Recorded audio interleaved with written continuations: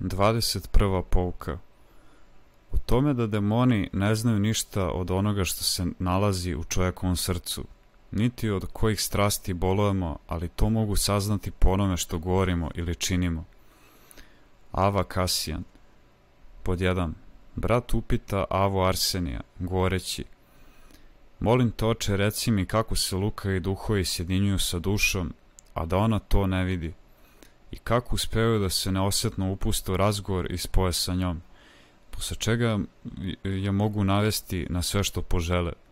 Osim toga, kakva je veza razuma sa njima, jer nemoguće bez blagodati Božje rasuđivati o tome šta potiče od demonskog napada, a šta je od naše sklonosti. Po dva, starac reče, Nije neobično ako se duh neosetno sjedini sa duhom i budući neviljiv, približi se i ubaci u dušu ono što je izaziva nasladu, jer između tih duhova i ljudske duše postoji umna i slovesna sličnost i srodnost, kao i isto ograničenje ljudske duše i njihove umne suštine, te otuda oni mogu da uzajamno opšte pute misli. Po tri. To opštenje ne bio po suštini, tako da jedno prima drugo po suštini, jer to je moguće samo u božanstvu koje je jedino po prirodi bestelesno i prosto, te zbog toga postoji i sadrži se u svakoj umnoj prirodi, proničući kroz svu njenu ipostas i suštinu i obuhvatajući i ispitujući njene nevidljive delove, budući jedino istinski prosto i bestelesno. Po četiri. Jer premda mi kažemo da postoje prirode duhovne poput angela i demona, a slično tome i sama duša, mi njih ne predstavljamo sasvim obnaženim od tela, One naime takođe imaju telo, mada daleko tananije od našega. Kao i apostol što kaže, telesa nebeska i telesa zemaljska. I opet, sve se telo duševno, ustaje telo duhovno. Pod pet, Otuda jasno vidimo da ništa nije sasvim bestelesno, osim jedinoga Boga koji može da ispituje ono što je skriveno i koji vlada svim umnim suštastvima, bićima, jer jedino On sav svugde i svem, u svemu postoji. Stoga i misli ljudske samo on vidi saglasno onome što je apostol rekao, jer živa je reč Božja.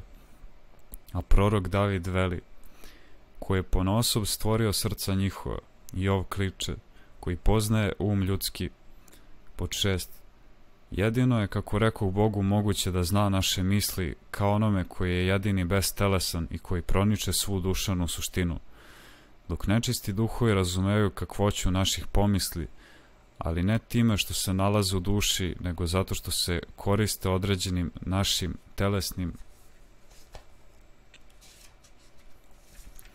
znacima i projavama. Dakle, oni po našem raspoloženju ili na osnovu naših reči ili stvari kojima znaju da težimo i imamo sklonost, procenjuju o čemu um razmišlja. Međutim, one misi koje još nisu izašle iz najunutarnije riznice duše, oni ni na koji način ne mogu znati. Pod 7. Oni čak ni za Luka pomisli koje sami u nas ubacuju ne znaju da li smo ih primili, osim, kako rekoh, po našim telesnim pokretima i spoljašnjim čovekovim znacima. Primera radi, kada nekome ubace pomisao stomaku ugađanja, oni znaju da li je taj primio napad po tome, da li ga vide kako neprestano prati sunce i sa nastrpljenjem očekuje čas kada će jesti. Pod 8. Kada ubaci u dušu pomisao bluda, oni će poznati da li ju je ranila strelica pohote po tome što vide oči kako blude i radoznalo posmatraju tamo gde ne treba. Ili ako osete pokret tela, a ne vide da se duša hrabro usprotivila napadu. Po devet.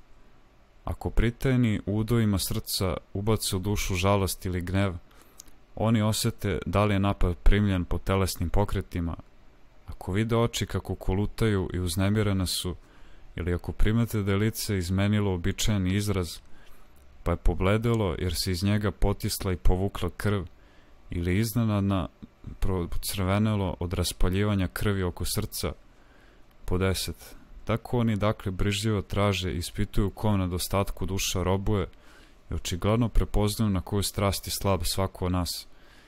Kada vide da, pošto nam ubace luka u pomisao, mi ne da ne osjećamo prema njoj odvratnost, nego i čutanjem i spokojstvom pokazujemo naklonost i upuštamo se u razgovor sa njom.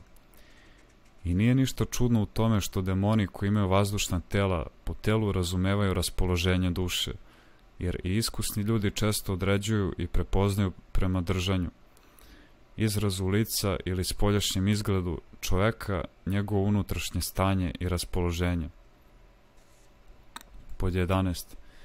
Treba znati i to da ni kod demonizovanih ne treba da mislimo da demoni deluju tako što su se sakrili i pritajili u samoj suštini duše, pa im iz usta izbacuju koje oni hoće reći izraze.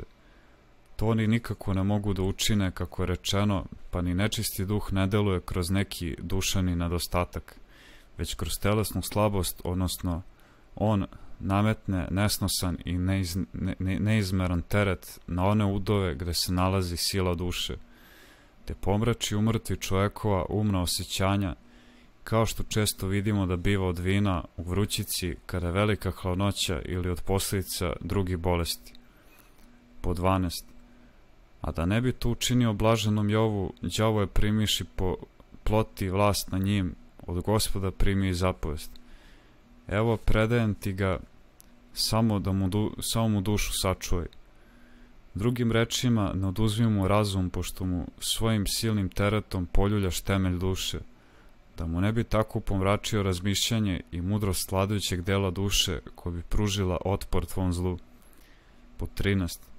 Dakle, ne meša se demon sa dušom kao što se nečisti duh meša sa ovom debelom i veštastvenom ploću i na neki način proniče u nju, kao da je moguće da jedan duh primi drugi, jer to je, kako je rečeno, moguće samo svetoj trojici, nego demoni preko telesnih sklonosti napadaju dušu i ratuju sa njom.